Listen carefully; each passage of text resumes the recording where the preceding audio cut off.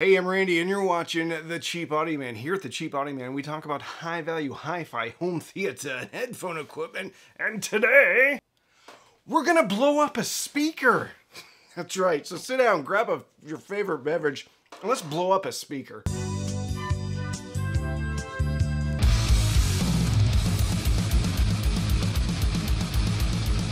I have been somewhat of an audiophile, or at least a music enthusiast and stereo enthusiast since I was nine years old. So I am 47 years old now. So that's a good portion of my life. Over that time, I have indeed blown up a speaker or two, but it was never on purpose. That all changes today. We're gonna pump so much power through this thing that it breaks the drivers, maybe starts a fire, puff of smoke, something. You're gonna go on the journey with me though. Let's talk about the speaker. The unfortunate speaker is the Dayton Audio MK602X, which incidentally happens to be on sale for $100 a pair. And at $100 a pair, this is actually not a bad speaker. I've done a whole review of this speaker, which I will put right here at the top of the video with a video link. If you'd like to check it out, go ahead and click through. At $100 a pair though, this is legitimately a good speaker. And now I kind of feel bad. It has a 6-inch glass fiber woofer, which extends the low frequency range for impressive bass without distorting. We're going to find that out. The critical vocal range around 2K. I'm not optimistic. It has a 1-inch silk dome tweeter, which is probably going to do okay. 4 ohm impedance. Let's see what the sensitivity is on these. All right, frequency response is a generous 45 hertz up to 20,000 hertz. The reason why I'm laughing is usually a bookshelf speaker that goes down to 45 hertz probably's got a little bit beefier of a woofer. We're gonna blow it up though and then pull out the woofer. Sensitivity 87 dB. So we're gonna need an amplifier that has some gumption, an amplifier that can put out some power, an amplifier who's gonna laugh at the Dayton Audios. Let's talk about the amp. We are gonna be using the XPA DR1 differential reference monoblock power amplifiers. Let's take a look at the specs on this thing. 4 ohm impedance, 87 dB. So, the specs for this amp are 1000 watts RMS into 4 ohms at point 1% distortion. So we are going to take this speaker to its limits without having to worry if we're clipping. So we're just going to send clean, clean, massive amounts of power to the speaker and then see what happens. This amp also makes 650 watts into 8 ohms. Wow. Let's take a look at it.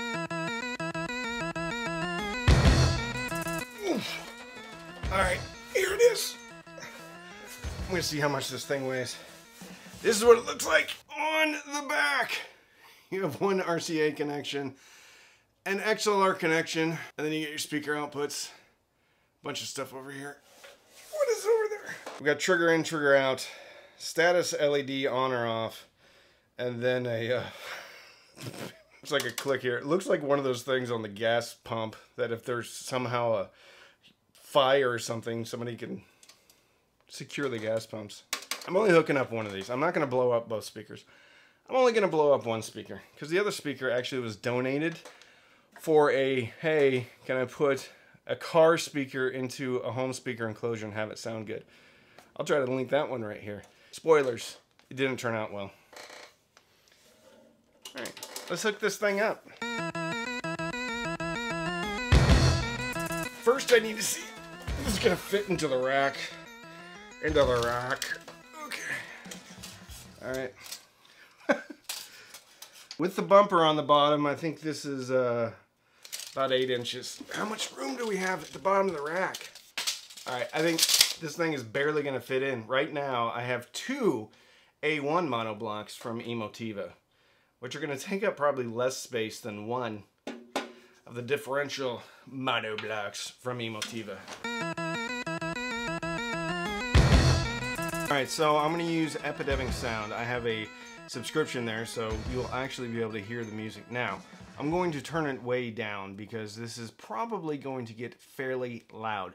So I have everything hooked up right now. I'm taking my beautiful Wharfedale Evo 4.1s out of here. This has been my kind of go-to desktop speaker for the last couple of months. And I love them. And I do not want to blow the Wharfedales up. They're so pretty. However, this one is not pretty. I still can't get over that these are $99. I'm going to link that in the description. I had no idea. It's pure happenstance. Serendipitous that the speaker that I'm going to blow up is actually not too bad at $100 for a pair.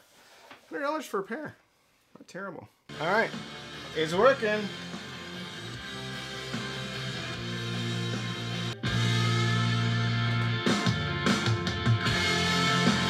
They don't sound terrible at all. A little bit boomy in the bass, but that's what we kind of want. Uh, we need to find something that's got a big bass track.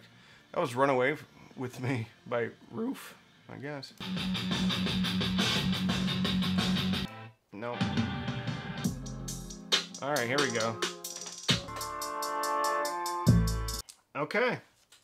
So this speaker is actually pretty amazing what this speaker can do with a bunch of headroom because I'm already hearing that there's way more bass coming out of this amplifier than most of the amplifiers, even the A1 monoblocks, which makes sense because there's a lot more power going through this. What I'm noticing on this speaker is it's pretty forward in the upper mids, maybe around 3K, 4K. Like the percussion is really snappy. Let's blow up a speaker though, all right? I'm going to use my noise canceling headphones so I don't blow my eardrums out. Even though I've gone to concerts with these and it still doesn't do that great of a job, I'm going to at least put them in because I can't find any earplugs.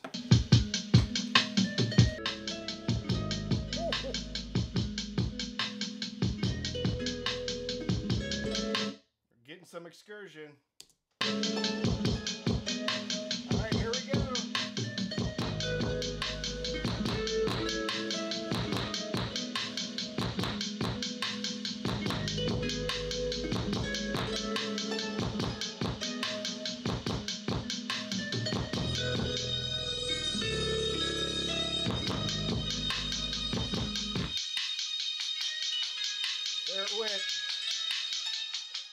There it went. So the, the woofer went. The tweeter's still playing just fine. Woo! I can smell it. Oh man, I can smell it. All right. Um, it actually did way better than I thought it would. And if you look at this woofer, it's got a bit of a surround on it. Oh, All right, I'm gonna turn this thing off. Okay, I'm gonna give it a second, and then I'm gonna pull the woofer and see what it looks like. Good job, Dayton Audio. I'm pretty impressed. See what it looks like. It is like frozen. So, oh, you can hear it just like scrape on the inside. Let's open this baby up. Well, there we go. Stinky inside. Electricity. Fun with electricity. So here is the woofer. Oh, you hear that?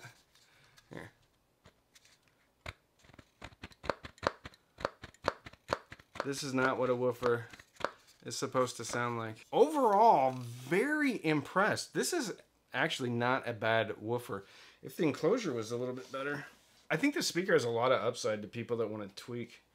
It's not terrible. You could probably go in there, and brace up the, uh, the enclosure a little bit more. I cannot believe how much this stinks. Oh, I wonder if I fried the cap in here or something. That's what happens when you blow up a speaker.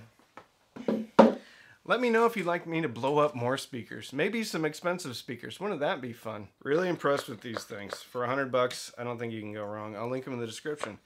So if you want to support the channel, you can sign up for Amazon Music, Tidal, or Roon. Links in the description. Click sign up. There is a trial period. Even if you quit, I do get a couple of dollars. You can sign up for my Patreon, patreon.com slash cheap audio man. Every Sunday night, we have Patreon-only Zooms, Patreon-only Discord, Patreon-only Facebook. You can also use the links in the description. Those are affiliate links, which means if you click and you buy, I do get a commission, but it doesn't cost you anymore, so it's a great way to support the channel. Finally, You can buy me a soda down at the bottom of the video. There's a thanks button. Click on it. Give me a couple bucks, but don't feel compelled to buy me anything or thank me. And if you would, please like this video and subscribe if you'd like to see more free content like this. So don't binge watch anything on Netflix or Hulu. Maybe blow up one of your old speakers. No, don't do that. Fill your soul with happiness. And with that, I'm Randy. I'm the Cheap Audio Man.